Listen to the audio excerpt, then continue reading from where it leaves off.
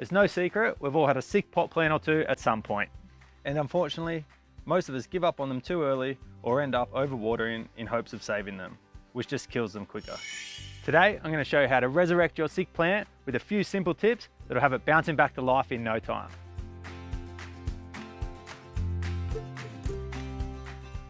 Pot plants can become unhealthy for many reasons. It can be too much water, not enough water, pests, disease, poor soil, being pot bound, and the list goes on. But there's no need to hit the panic button just yet. I've put together five simple steps to bring your plant back to good health. The very first thing we need to do is check the plant is actually alive. If it has healthy looking leaves, then it likely is. But if the leaves look poorly or have fallen off, scratch a tiny bit of bark off at the base. If it's green and fleshy underneath, then the plant is still alive. But if it's brown and hard, then unfortunately, it's gone to plant heaven.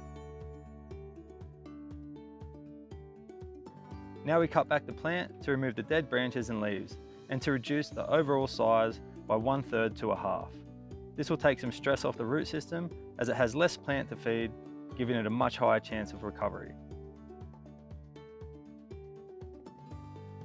A lot of problems can start at the root ball without you even realising. They can be diseased, rotten, pot bound, or may have even died. First, pull out any weeds that have grown. All they do is steal water and nutrients from your plant. Then, turn the plant upside down holding the trunk between your fingers for support and gently tap the edges and sides of the pot to remove it. Now it's time to tease the roots with your fingers. You might even find it easier to use a chopstick or a pen, just make sure it doesn't have sharp edges. Teasing out the roots is very important if your plant is pot bound, which basically means the plant has been in a pot for too long and the root system has grown all around itself, restricting new growth. Once your root ball is looking nice and hairy, Give it a light cut back with some clean, sharp secateurs.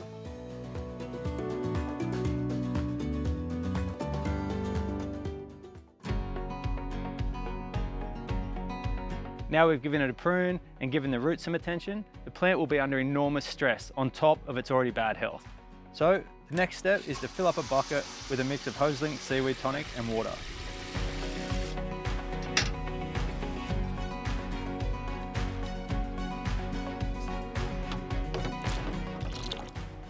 Then soak the entire root system for at least one hour. This will help with stress and recovery. Think of the seaweed tonic kind of like a plant medicine. The first thing to do when potting up is make sure your new pot is clean to prevent the spread of disease. You also need to make sure it's the right size.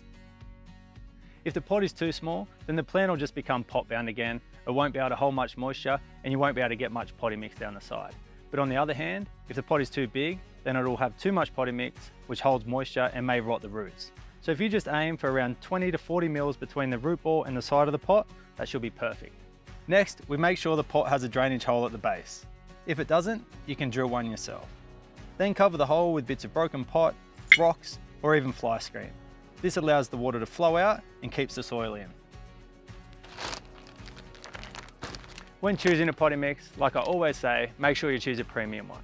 They've got better fertilizers, better water holding capacity, and also have better drainage. Put a little potting mix at the base of the pot to ensure the plant sits at the right height. Aim to have a 30 to 40 millimeter gap between the top of the soil and the lip of the pot. This will help the water pool when watering so it doesn't overflow. Place the plant in the center of the pot and gently backfill with potting mix.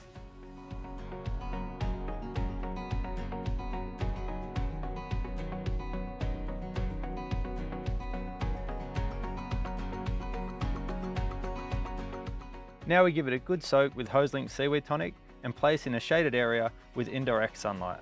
This will help it recover much faster as it will be protected from the elements. If your plant did have any pest or disease, now is a perfect time to spray it with an insecticide or a fungicide to give your plant a fresh start to its new life. New shoots should pop up in two weeks to two months, so you do have to show a little bit of patience and just know that you've given your plant the best chance possible for recovery, and in most cases, it will. Good luck.